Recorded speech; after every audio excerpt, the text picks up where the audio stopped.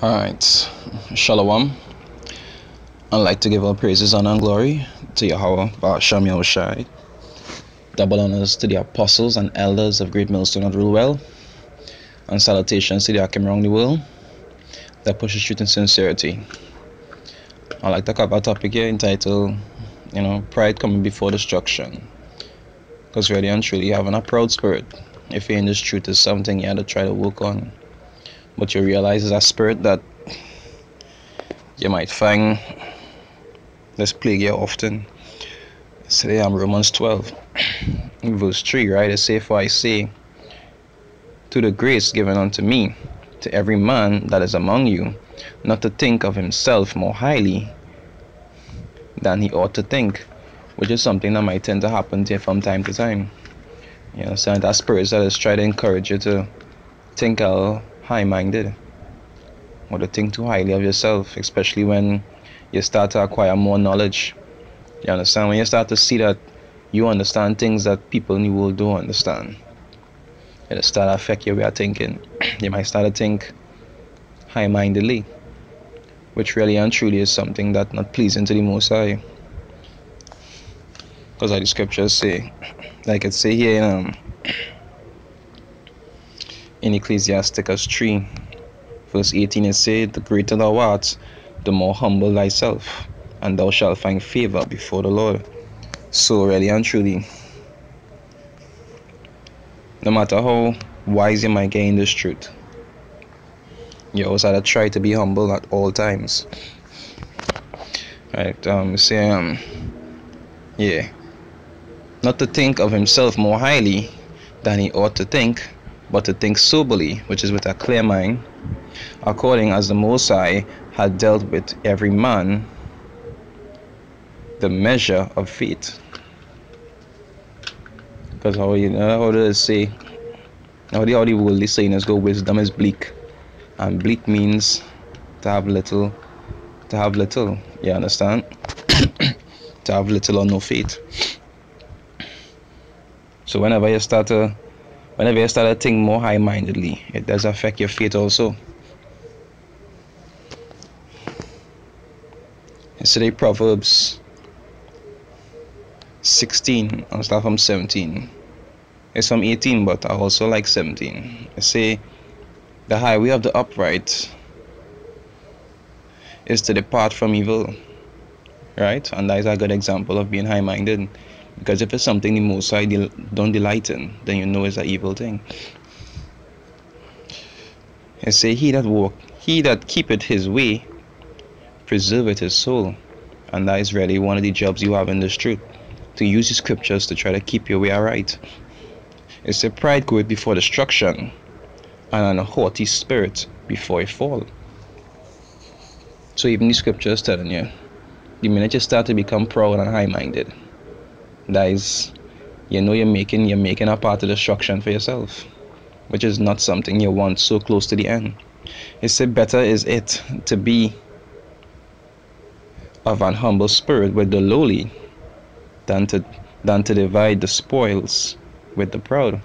Because really and truly the people who is the high people in this world that's what the Amer- Americans say the proud and the free. Them is some of the most proud people in this world and really and truly right now they have all the spoils. You don't want to be partakers with them.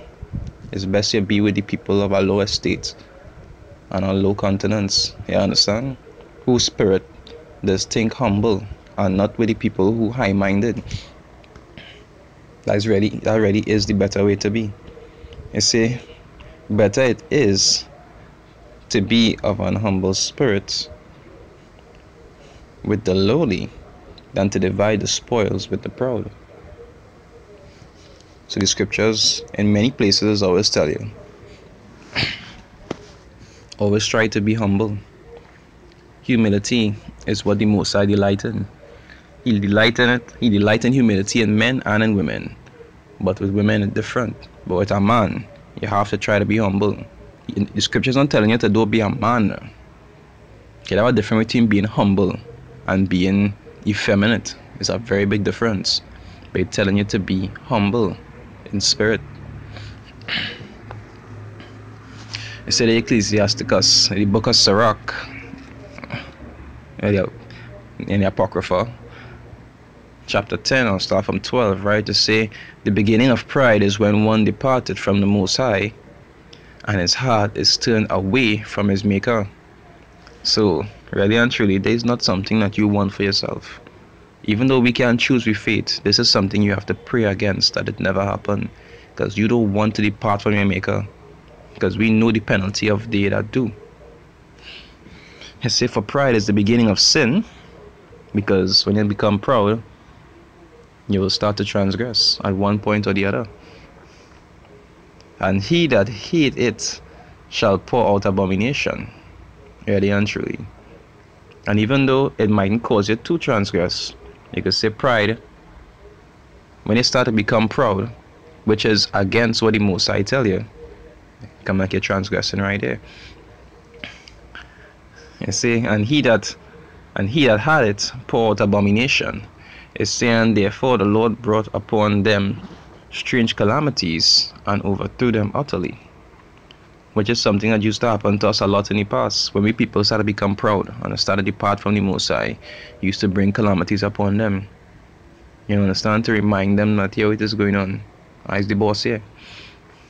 Verse 16 and say, no, verse 15 and say, The Lord had plucked up the roots of the proud nations and planted the lowly in their places.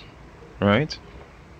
And we used to be more when when we used to be more lowly is when we actually used to be in charge. And the Most High actually used to be working with us because he wouldn't have worked with us if we had a proud spirit. It's only when we started to become proud and started to go off then when we had to go under other nations really and truly to be able to um, to humble the spirit once again. And then it was like a repetitive cycle. We would put people in other nations. We would become more humble and more obedience, you put in charge. After a little while pass, we get proud again. Back into slavery to get humble. You understand? So really and truly, you understand humility is a real important thing. Because anytime you start to become high-minded, most side doesn't find favor with you. It say he took, I say um, verse 16. It said the Lord over overthrew countries of the heathens and destroyed them to the foundations of the earth, right? So say he took some of them away and destroyed them and had made their memorial to made their memorial to cease from the earth, right? It say pride was not made for men, nor furious anger for them that are born of a woman. Because really and truly, there is, there is actually one of the trials that we had to go through. It's like all the other temptations that we had to resist. Pride is one of them. Already and truly, Israel really not supposed to have that kind of spirit. We're supposed to be humble under the Most High, but due to the situation that we're in and what we had to endure for now, until that time passed that we could receive the promise, there is something we just had to endure. You understand? But as the scriptures say to he that overcome but is the ones who will receive the big rewards.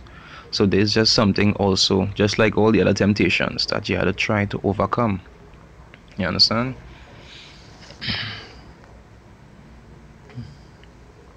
Yesterday, James 4. I'll start from 6. I'll say, But he giveth more grace, wherefore he saith, The Most High resisted the proud, but giveth grace unto the humble. So your mission is ready to try to be the opposite of proud, which is humble. Like I say, proud, um, humble, humility, and effeminate is two different things. A man can be humble, but he still had to be a man. When the time comes around to do what he had to do, he still had to make decisions as a man. But that don't mean that you could be of a high mind and think highly of yourself. It's two completely different things. You understand? And that discernment to be able to tell the difference is always very important also. That's something is always how to pray for. For that discernment to be able to see when you're being proud or humble or when you're being effeminate. Because the most high don't deal with effeminates. He just deal with humble men. So hope you all learned something. With that I'd like to give all praises, honor, and glory to Yahweh Ba'ashem, Yahweh Shai. Double honors to the apostles and elders of Great Millstone at Ruwell. And salutations to the Akim around the world that pushes truth in sincerity. Shalom.